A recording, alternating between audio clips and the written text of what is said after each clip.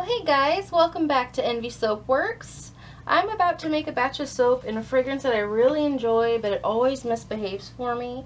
I don't know why because nobody else seems to have problems with this but me. so um, this is the Green Aloe and Clover. This is a Bath and Body Works dupe. It smells so good. It's just the cleanest, freshest fragrance. I really like it. Um, but it just thickens up on me in the blink of an eye. So this is one that I really like, but I just avoid it because, you know, I like to do a lot of like intricate, um, you know, like swirling with hangers and um, like very thin pours so I can get that like good striping but this just doesn't allow me to do that so I like I said I just avoid this one but I'm gonna give it a try today. It's been a long time and I just want to have that fragrance. So what I'm gonna do with this one um, let me show you my colors first. First I have this very beautiful sunflower yellow. This is um, from Micas and More. And then I have um, apple green. This is kind of like almost a lime green, but not not quite. But it's just a really pretty, um, you know, very pretty lighter green. And then here I have, I think this is called aqua green or green blue. Oh, I should have looked, but I've forgotten. But this is just a really pretty kind of um, I guess it's kind of a bluish green. And what I'm going to do with this one is I'm going to make my base color this kind of bluish green. And then here I have a kind of teal. This is called turquoise. Turquoise green mica. This is also from Micas and More. In my recipe today, this is a little bit different than my normal recipe. I have olive oil, coconut, palm, avocado oil, mango seed butter, hemp oil, cocoa butter, and castor oil. So this is quite different from my um, normal go-to recipe, but this one makes a really lovely bar of soap. And so I thought I would go ahead and give this one a try. I haven't used it in a little while either. So I'm going to go ahead and get this mixed up, my additives.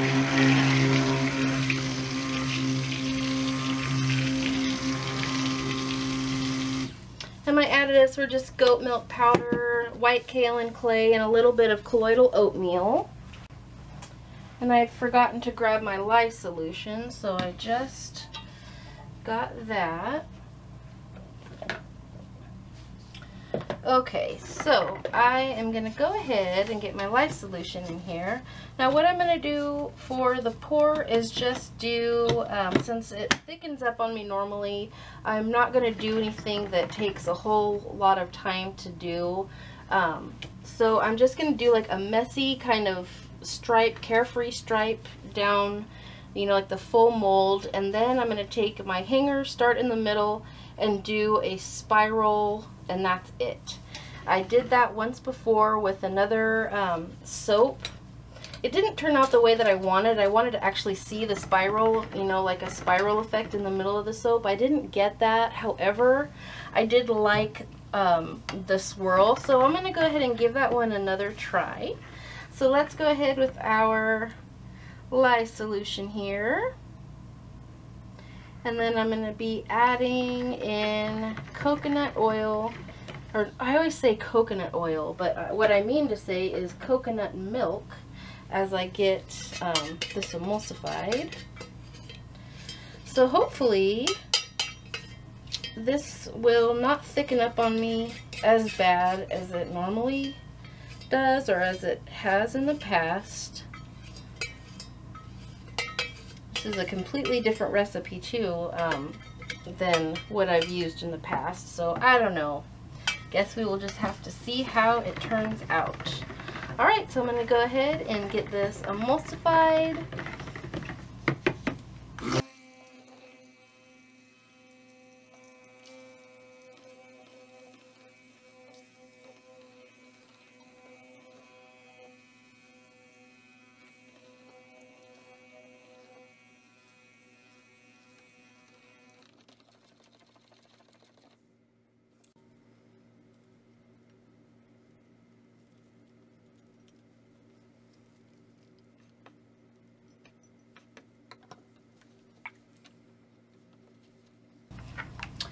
So I got that nice and blended up. I was afraid that maybe I took it a little bit too far, but no, this is definitely not um, even at a light trace. It is just emulsified. So I'm going to go ahead and get my cups over here. Oh, I forgot to mention that I am going to have white in this. Um, not as the base color, but just as a color in the soap. So um, this is going to be interesting. I I don't know how it's going to turn out. I might change my mind about having having the green be the base too. I don't know. I'm going to think about it while I get poured off here. I'm very much a last minute mind changer. So we'll see how we how we do.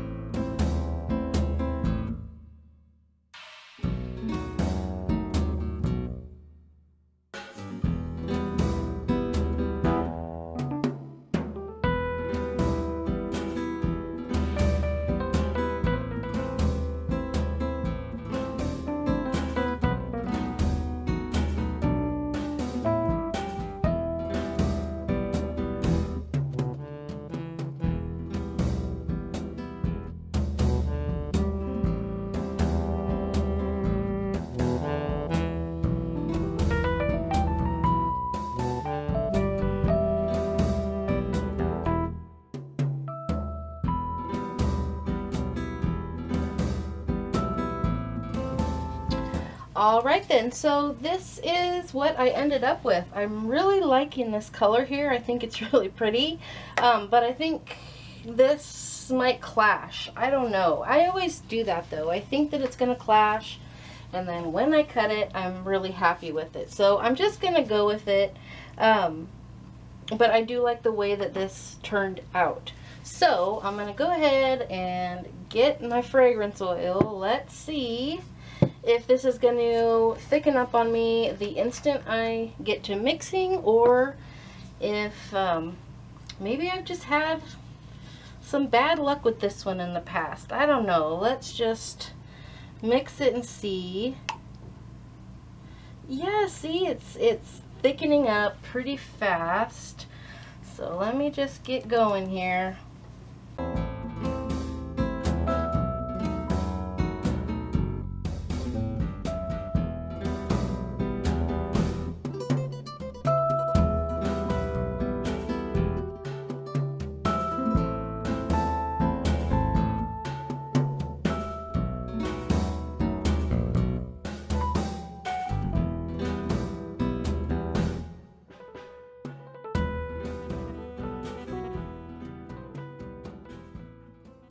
Alright you guys, so yes, it did absolutely thicken up on me extremely fast and I also have ricing in the white. So I'm going to go ahead and get that stick blended up.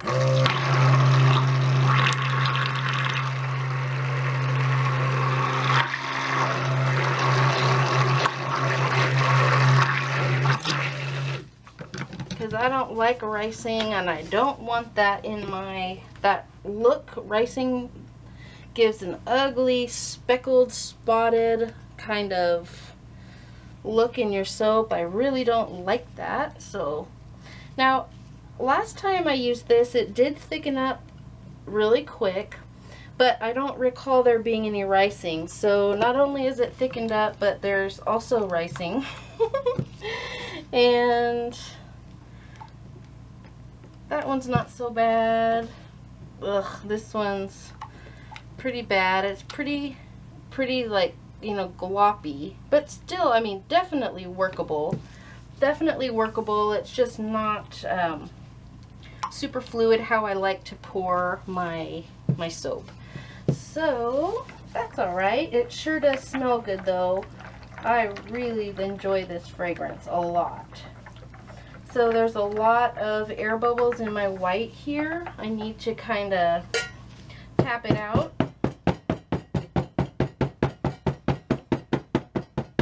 Sometimes I would rather tap my bowl or cup um, instead of tapping the mold once I have it in. Tap your bowl, you can see all the bubbles rising up to the top. So that works pretty good. Okay, so I think that I'm still going to be able to do the pour that I wanted to do. Pour, I don't know about pour, it might be more of a plop at this point. But um, I really just wanted to do kind of like sloppy, kind of like a sloppy layer kind of stripe down the middle. And then just do a hanger swirl in like a um, spiral pattern. This is such a pretty green. It's just like a kind of like a pistachio green. I really like the way that that looks. So I'm going to put quite a bit of it down in the bottom of the mold to start. And I wanted there to be a little bit more white than some of the other colors. So I'm just going to stripe down the mold. Actually, let me go with the teal. Now we are thickening up quite quickly. This is just how I remembered it, but I can still get it to stream in, you know, pretty decently, so I'm not too worried about it. I might actually like the way that this is going to turn out with it being so thick. It might actually work out better for me. So let's just stay positive, shall we?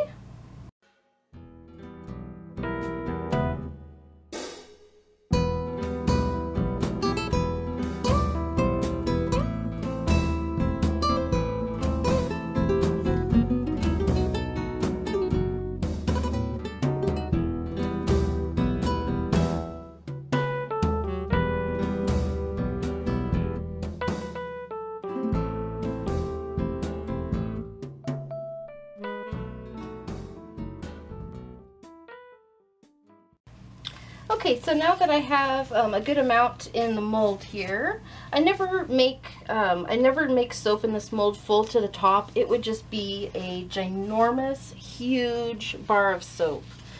Um, so I always keep it, you know, full just about at this level, and it makes a pretty decent size. So just in case anybody's ever wondering, why don't you fill your mold up to the top? That's why. Um, so what I'm going to do is go down to what I believe is the middle and start with the little spiral and keep getting a little bit, um, you know, going out more till I have a big spiral that goes all the way to the sides and hope that that will give us a neat look inside. I think it will. And I really don't think that the soap thickening, thickening up a little bit um, is going to make that big of a, a isn't going to be that big of a deal. I think the soap is going to actually turn out pretty cool. I'm totally digging the color combination.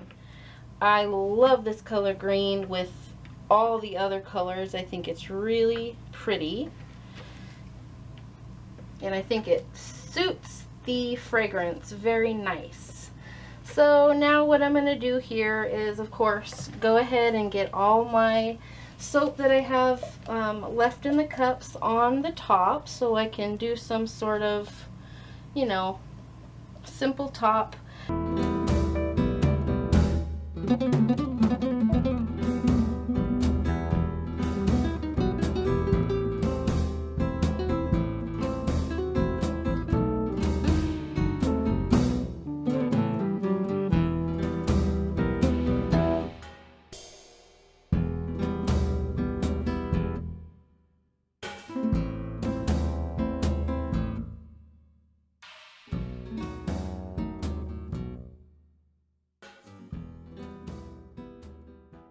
Alright everybody, so I got this all done, or I got it all in the mold I should say, and um, it was really hard to get it to go on how I wanted to because it did get so thick, but that's okay.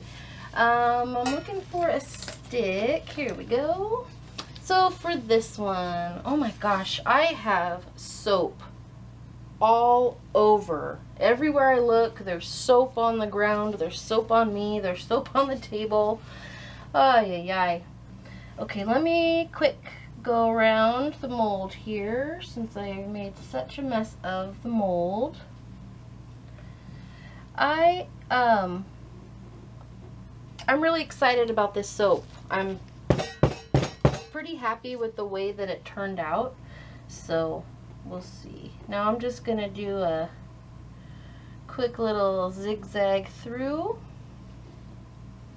And then also go the other way.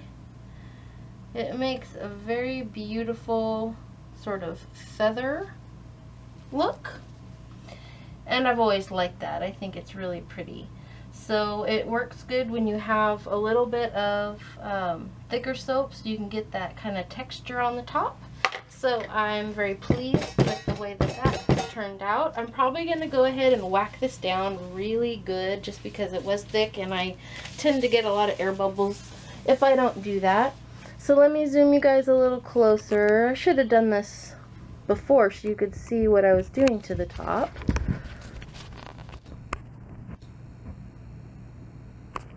There you guys go. Okay, so that's how the um, top of this green aloe and or green clover and aloe soap turned out. So tomorrow when I cut this, I will bring you guys along so we can see how it turned out. Bye! Hi everybody, welcome back to the cutting of the green aloe and clover soap. I am super excited to find out what is going on on the inside of the soap. I couldn't be happier with the way that these colors ended up. I think they are absolutely gorgeous. And I love the color that I got for um, the base of this soap. I've never had I've never had this color in a soap before. It's so pretty though. I'm really, really hoping that there's going to be something exceptionally awesome inside of this soap. I have been avoiding this fragrance for so long just because I know that it thickens up and it misbehaves for me, but I love the fragrance so much that I finally just went for it. And you know what, it behaved pretty good. I mean, there was some ricing, it did accelerate, but nothing that can't be managed. So I'm really hoping that we're going to get something awesome inside. And I'm going to cut into this and find out. Oh my goodness, I love it. That is awesome. Woo, that is so pretty. I can see the spiral. I can see it. Oh my gosh, I love those colors. And the top of this one is really cool.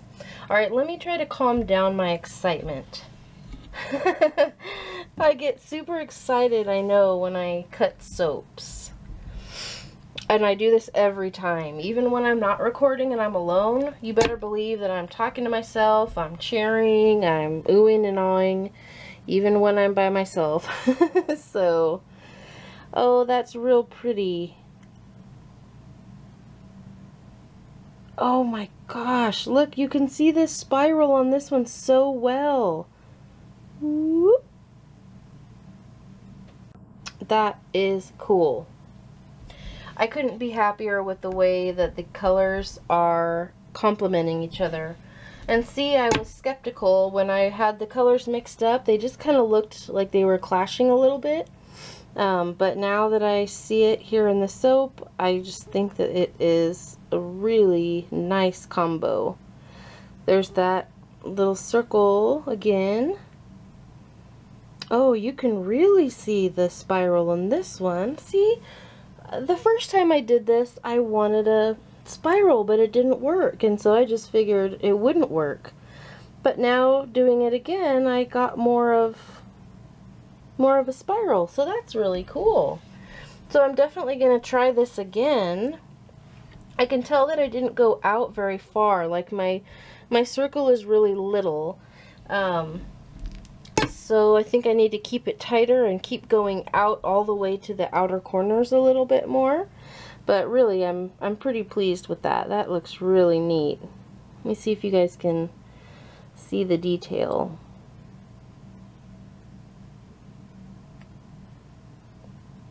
Oh, so cool. This one is really, really spiraled. Pretty. And then the top turned out just really nice because it was um, pretty thick. So it had a nice, I was able to get a really nice texture just kind of doing like the back and forth. Like you get that really nice feathered look.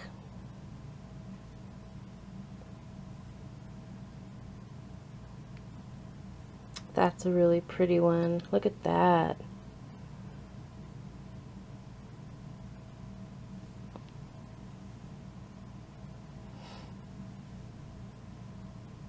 Oh good, I'm really pleased with this. I, I wasn't quite sure what I was going to get, um, but I, I couldn't have I couldn't have asked for anything better. This is really tickling me right now.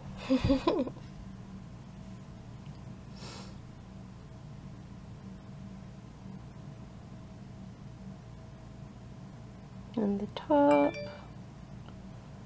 Oh my goodness, look at this one. wow.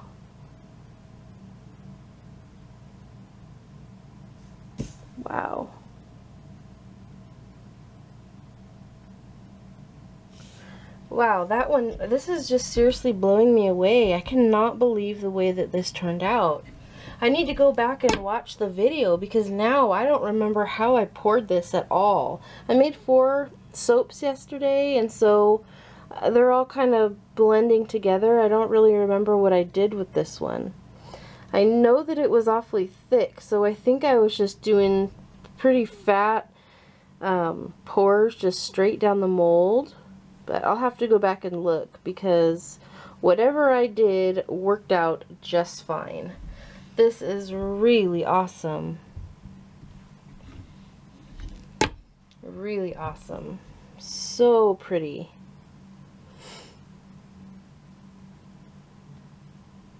The yellow in this just makes it. I'm so glad that I added yellow. At first I wasn't going to. I was just going to do greens and white. But I did decide to throw in yellow just just to add a little bit more life to it and I really do think that it just makes makes a ton of difference in the soap. Alright, I'm going to shave off just this little back piece and this is the last piece here. Some really beautiful patterns in this um, in this soap. It turned out so good. Couldn't be happier. Okay. Alright, you guys. So this is the way that this soap turned out. I hope you guys like it as much as I do. I know that I'm pretty pretty vocal about my excitement when I cut a soap that I really like. So hopefully you guys liked it too. Thank you so much for watching and subscribing. I will catch you guys on the next video. Bye!